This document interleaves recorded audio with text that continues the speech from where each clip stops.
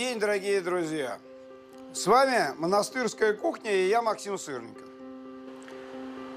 Приготовлю сегодня два блюда с рисом. Блюда постные, очень такие разные, но думаю, что получится вкусно и то, и другое. Уж точно сытно, потому что рис сам по себе, конечно, а, такой ингредиент сытный, как говорится, питательный. Вот. Ну и все зависит от соуса, от подливы, от подачи. Вот давайте попробую сделать э, два таких блюда. Значит, но сначала отварю рис. Почему-то я очень часто сталкиваюсь, э, к сожалению, даже среди профессиональных поваров с неумением э, приготовить рис правильно.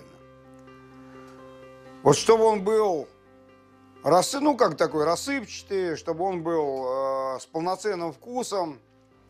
Зачастую у нас как рис отваривают? В огромном количестве воды варят, потом куда-нибудь откидывают на какой-нибудь дуршлаг или на сито, или просто воду сливают.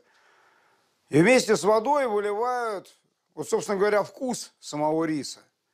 Вот надо рис варить таким образом, дорогие друзья, чтобы у нас весь вкус сохранялся в нем. Чтобы у нас полностью вода вся уходила в зерно, а не выливалась куда-то в раковину или еще куда-то. Вот э, каким образом? Все на самом деле очень просто делается, абсолютно. Никаких тут сложностей нету, все делается очень быстро, недолго и э, без каких-то замысловатых затей. У меня предварительно замочен рис, э, промыт, очень хорошо промыт в холодной воде. Сначала такая вода чуть-чуть потеплее, потом 3-4 воды, как говорится, в 3-4 водах промывается. Рис вот до такого практически э, прозрачной воды. Э, лучше, можно не замачивать долго. На самом, вот у меня этот рис, он за минут 10, наверное, в воде стоит, этого вполне достаточно. Ну, по крайней мере, для тех целей, которые вот я сегодня предполагаю использовать рис для тех блюд, которые не нуждаются в каком-то длительном замачивании его. Я откидываю на сито. Пускай вода стечет. И дальше мне нужно отмерить, ну, хотя бы приблизительно, хотя лучше, конечно, это сделать поточнее, отмерить объем вот этого промытого риса. Ну, давайте вот не буду уж там какие-то мерные стаканы использовать, а вот так на глаз сделаю.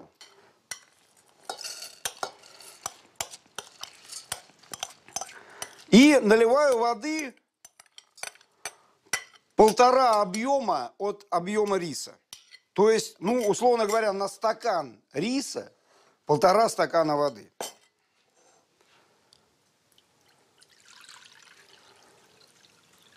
Ну, глазомер у меня вроде неплохой, Поэтому примерно, думаю, попаду. Если уж не совсем точно, то близко к тому. Один объем.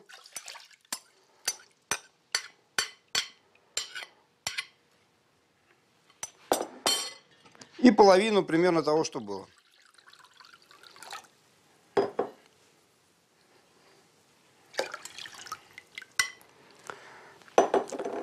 Можно сразу подсолить не страшно. Для риса это вот такое подсаливание предварительное абсолютно не страшно. Теперь я так аккуратненько довожу, не закрывая крышкой ни в коем случае. Довожу до кипения. После того, как закипит, сразу, вот хорошо такая плита, она позволяет это сделать, как только закипит, я убавляю нагрев до минимума и закрываю крышкой. И выдерживаю под крышкой на минимальном э, вот таком нагреве 10 минут, после чего нагрев убираю и еще 15 минут не открываю крышку. Вот тут самое главное не открывать крышку. То есть вот после того, как закипело, еще раз, ставим минимум огонь на минимум, закрываем крышкой. 10 минут на нагреве, 15 минут без нагрева, все 25 минут крышка не открывается. И посмотрим, что у нас получится.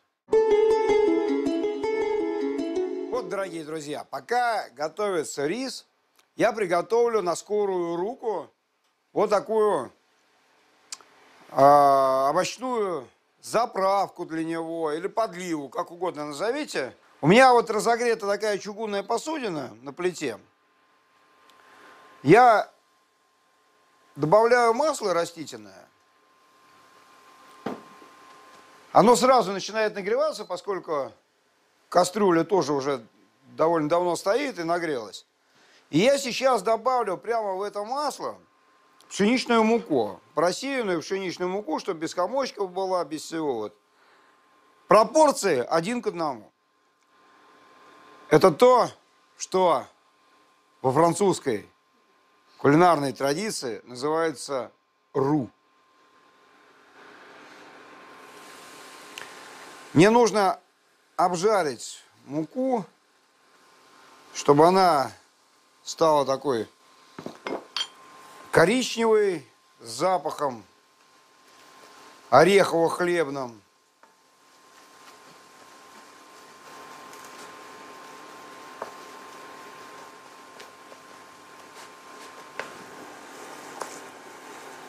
Ну, пока вот мука обжаривается,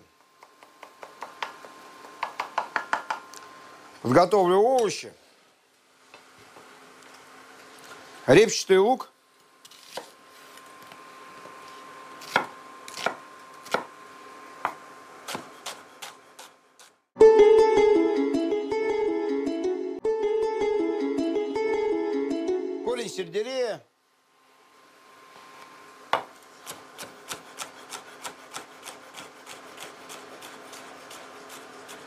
Немножко я добавлю острого перчика зеленого. Он не сильно острый, но тем не менее. Это, как говорится, на любителя. Не любите острого, не надо. И стручковый перец вот такой сладкий. А еще добавлю лук-порей. Вот эту его белую часть, мясистую, нарежу такими тонкими шайбочками.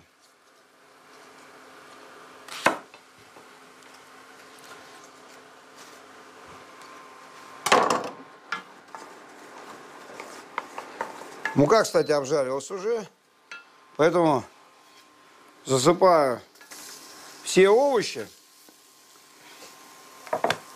И сейчас мне нужно будет вот обжарить вместе с мукой, не добавляя более масла, обжарить овощи. Кстати, рис у меня уже готов. Напомню, как я его готовил. Промыл полтора объема воды холодной.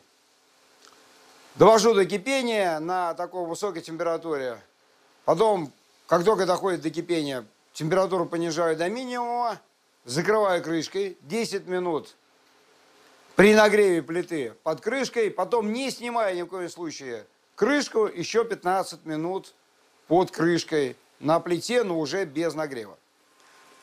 Получается вот что.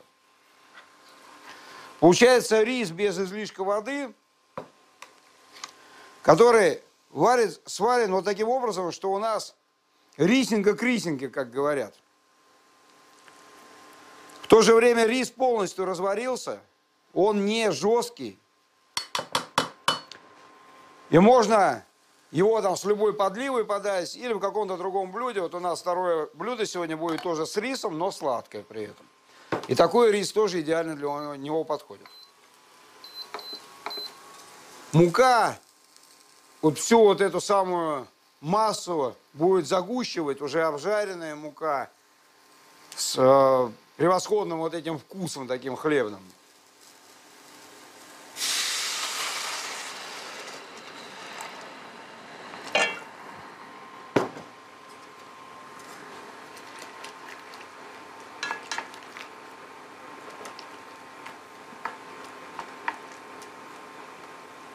И я добавлю Туда еще несколько ломтиков спелого помидора. Можно, кстати, не обязательно э, Добавляя свежий помидор, можно просто томатный сок, скажем. А, ну, если уж нет у вас томатного сока, можно, конечно, и ложку хорошей томатной пасты.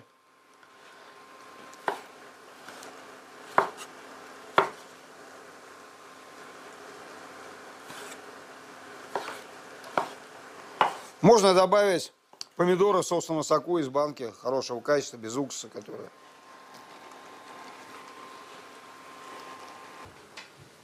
и чеснок.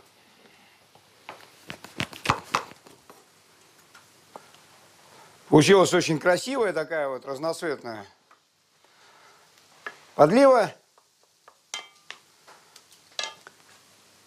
И когда придет дорогой гость сегодня, я выложу на тарелку рис и сверху заправлю вот этой самой подливкой овощной. Ему подам, надеюсь, ему понравится. Рис с овощной подливой.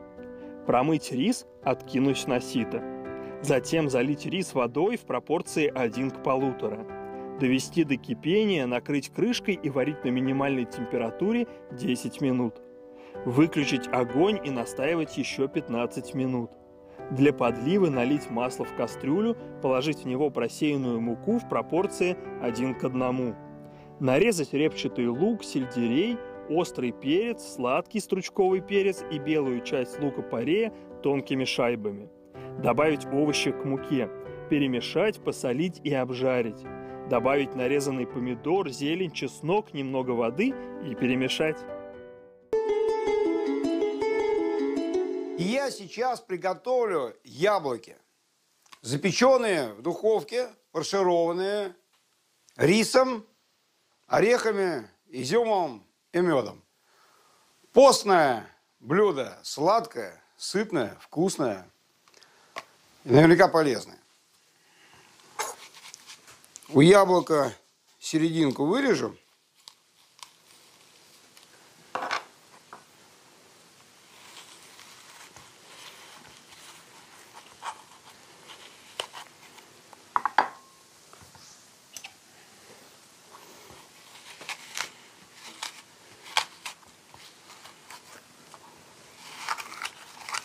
Но яблоко лучше взять, как всегда, такого кисло-сладкого сорта. Естественно, лучше всего подойдет русская Антоновка. Но уж за неимением Антоновки весной берем какой придется. Надо э, полость-то вырезать, но так, чтобы оно при запекании все-таки не разорвало яблоко, чтобы все-таки какая-то вот мякость боков осталась.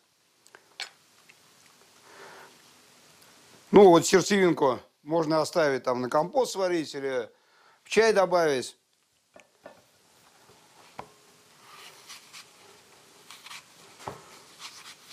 Ну и приготовлю начинку для яблок из того же самого риса, который приготовил для предыдущего блюда. Добавлю в рис изюм промытый.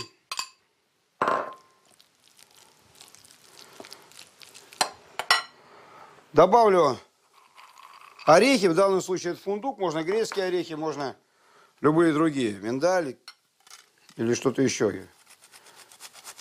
Я потру их на терке, можно просто порубить, да хоть целиком добавить. Но мне вот хочется сейчас натереть.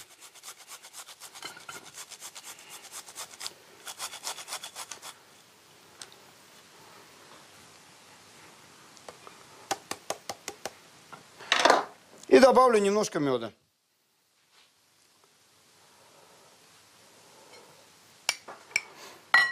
Но если кому-то мед не по душе, можно добавить сахар, сахарную пудру или вообще не добавлять ничего более сладкого. Я ищу корицы, чуть-чуть, чепоточку корицы молотой. Теперь яблоки начиняю вот этим самым рисом сладким.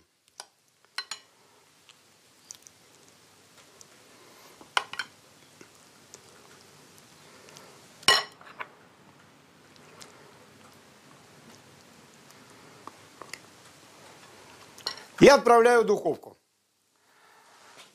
Температура 180 градусов.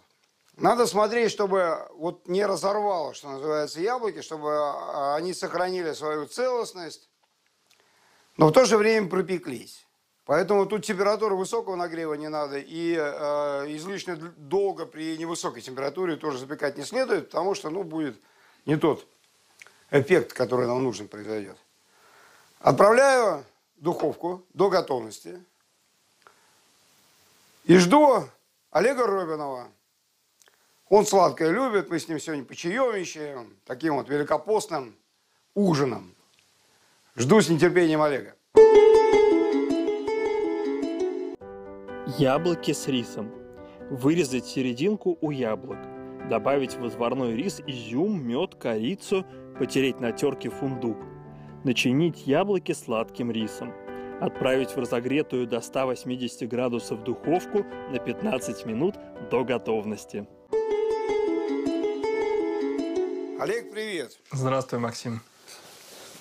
Ну, ты знаешь, как рис назывался еще 200 лет назад в России? Хм, очень интересно, как. Сарацинское пшено.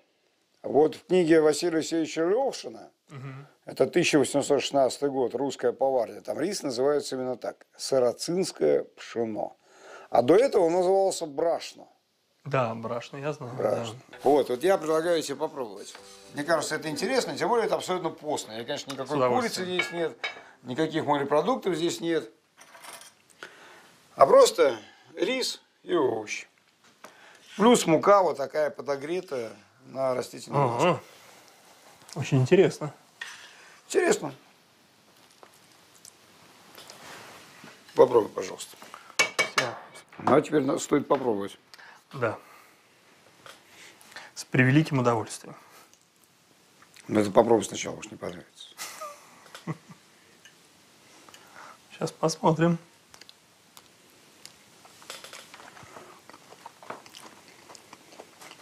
Блюдо сытное. Такое вот. Угу. Мне очень нравится. А, вот это вот, как э, назвать, подлива. Ну, подлива, не подлива, не совсем, да, да заправ, заправка. заправка. Да, заправка да. По вкусу э, напоминает немножко лечо, но такое какое-то вот э, да, но не совсем. Ну, Нет. да, я вообще считаю такое блюдо абсолютно интернациональное. Конечно, а, сказать, что это блюдо русского, русской кухни а, будет немножко смешно, потому что здесь такое нагромождение всего разом. Слушай, но тем не менее, прям для поста идеальное блюдо. Конечно, конечно. Оно очень сытное. Здорово. К тому же рис э, у тебя получился такой нежный, диетический. Вот без посторонних каких-то привкусов. Прям вот такой идеальный рис. Ну вот я сегодня э, в твоем отсутствии, когда готовил все это, я рассказывал уважаемым зрителям по поводу того, как, на мой взгляд, надо рис отваривать. Угу. Для того, чтобы не потерял во вкусе, для того, чтобы э, был там нужной консистенции и так далее. Насколько вообще рис, а, вот ты, наверное, больше меня все-таки путешествуешь по монастырям, а, я везде вижу рис. Да, конечно. Везде вижу рис. Э, насколько вообще для монастырской кухни современной это характерно, по твоему мнению? На мой взгляд, это уже такое абсолютно вошло в традицию. Конечно. Ну, вообще, все круг, ну, вся наша вот постная пища, которую мы едим, а, Великий пост, э, да и в другие, она вся, конечно, это вот круглогодичная пища монастырей, такая настоящая монастырская еда, вообще любая крупа, которая в ходу. А, вот особенно, э, знаешь, в 90-е годы, когда монастыри только открывались, э, возрождались, и там были монастыри, где три монаха там, или меньше. Да-да-да, я помню, я бывал в таких монастырях, где один, два, три насельника. Да. А, и кухня в таких монастырях всегда была очень скромная но насколько искусно и насколько вкусно э, подавался тот же простой рис. Э, вот действительно, э, вот и вот это блюдо мне как раз такой монастырский вкус простого блюда, такого доступного блюда. Ну вот в голодные, наверное, такие времена, как были конечно, 90-е годы в нашей конечно. стране. Э, Действительно, вот такой вкус очень приятный, навевающий самые теплые воспоминания. Давай мы с тобой отведаем десерт. Обязательно, да. Ну, это вот еще раз э, рис, немножко в другом виде. Это яблоко фаршированное. Ну, мне больше нравится слово чиненое. Все-таки такое в, в русской Да, традиции, да? хорошо. А, тоже тот же самый рис, плюс сухофрукты, плюс мед, запеченное яблоко такое кисло-сладкое.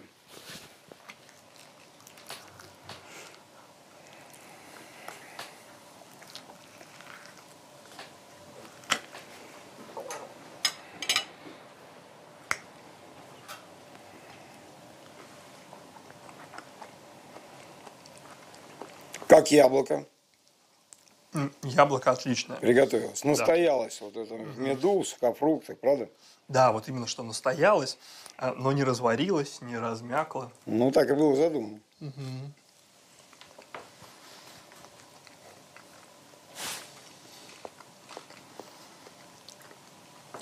Смотри, здорово, это очень да. простой э, и в приготовлении, и, э, ну, вообще такой незамысловатый абсолютно. Ну, десерт, слово десерт, Да не десерт, десерт, такой, да, да. пере- перекус, он, кстати, он не больно сладкий. Там мед, там сахара, сахара нет как такового, тут мед только немножко. И то его там немножко совсем. И сухофрукты плюс. Очень здорово, э, сытно, но яблоко такую свежесть придает Конечно. и кислинку. Конечно. Ну, как бы была по другой бы Антоновка, это было бы еще, еще интереснее. Да. Ну, тут чем богато. Я, надо сказать, очень люблю яблоки. В любом виде. Я очень люблю все яблочное. Да. Я, знаешь, вот когда в самолете а, лечу, когда предлагают весь этот самый э, там, ряд напитков, когда я всегда, конечно, выбираю яблочный сок. Я тоже самое. да. На самом деле, самый мой любимый сок – это яблочный. А. Я всегда, когда хочу купить сок и стою в магазине, выбираю, всегда выбираю яблочный. Ну и правильно. На самом деле он самый натуральный. И ты знаешь, что из того, что продается у нас под видом сока, а, 99% это э, фальсификация, там так или иначе. Я услышал, что томатный и яблочный самые натуральные. Совершенно верно, томатный и яблочный. Потому что томатный, там просто как смысла тоже нет особого подделывать. А яблочные, из яблочного делают все там, все эти там а, вишневые, сливы, виноградные, они, как правило, делаются из яблочного с добавками а, какого-то концентрата, там, в лучшем случае. Ну вот, а в худшем случае ароматизатора. Поэтому лучше брать сразу уж яблочный, чтобы не Конечно. обмануться. Да и тем более он вкусный. Самый вкусный. Ну, вкусно, конечно. Вот так. Спасибо большое, дорогой Олег. Спасибо, Максим, очень вкусно. Спасибо. Очень интересно. Очень интересно. Спасибо. Дорогие друзья, монастырская кухня была с вами. Олег Робинов, Максим Сырников. Обязательно подписывайтесь на монастырскую кухню. Потому что с нами вкусно и с нами интересно.